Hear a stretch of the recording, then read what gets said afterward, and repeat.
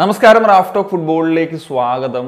I S റോമയുടെ പരിശീലകനായിട്ടുള്ള Jose Mourinho അദ്ദേഹം ബി എസ് സിയിലേക്ക് പോകുന്നുള്ള വാർത്തകളൊക്കെ ഇങ്ങനെ ഇടയ്ക്ക് വന്നിട്ടുണ്ടായിരുന്നു. അപ്പോൾ ഈ ഒരു വിഷയത്തെപ്പറ്റി എ എസ് റോമയുടെ തന്നെ ലെജൻഡായിട്ടുള്ള ടോട്ടി പ്രതികരിക്കുകയാണ്. ഇപ്പോൾ മൗറീനിയെ സംബന്ധിച്ചിടത്തോളം ഇപ്പോൾ സീരിയയിൽ അത്ര നല്ല പൊസിഷനിലല്ല ഉള്ളത് പതിനാറാം സ്ഥാനത്തൊക്കെയാണ് നിൽക്കുന്നത്. എന്നാൽ യൂറോപ്പ ലീഗിന്റെ സെമി ഫൈനലിലെത്തി ആ ഒരു കിരീട പ്രതീക്ഷയിൽ ഏറ്റവും മുൻപന്തിയിലുള്ള ടീം തന്നെയാണ്. ഇപ്പം സെമി ഫൈനൽ ഫസ്റ്റ് ലെഗ് വിജയിച്ച് നിൽക്കുകയാണ് വയൽ ലവക്കൂസിനെതിരെ അതുപോലെ കോൺഫറൻസ് ലീഗ് കഴിഞ്ഞ വർഷം സ്വന്തമാക്കാനും സാധിച്ചിട്ടുണ്ടായിരുന്നു.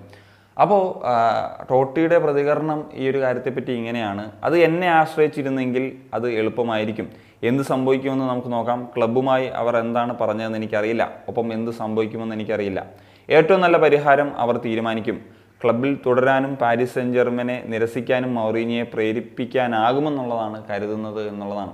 അതായത് അദ്ദേഹത്തിന്റെ ആഗ്രഹം മൗറീനിയോ എ എസ് റോമയിൽ തുടരണം എന്നുള്ളത് കാര്യം തന്നെയാണ് എന്നുള്ളതാണ് ഇതിൽ നിന്ന് വ്യക്തമാകുന്നത്. ഏതായാലും ഇദ്ദേഹത്തിന്റെ ഭാഗത്ത് നിന്ന് എന്ത് തീരുമാനമായിരിക്കും ഒരു കോൺട്രാക്റ്റും കൂടിയുള്ള സാഹചര്യത്തിൽ എന്തൊക്കെയായിരിക്കും നടക്കാൻ പോവുക എന്നുള്ളത് കണ്ടറിയേണ്ട കാര്യം തന്നെയാണ്. ഏതായാലും കൂടുതൽ ഫുട്ബോൾ വാർത്തകളുമായി നമുക്ക് വീണ്ടും കാണാം.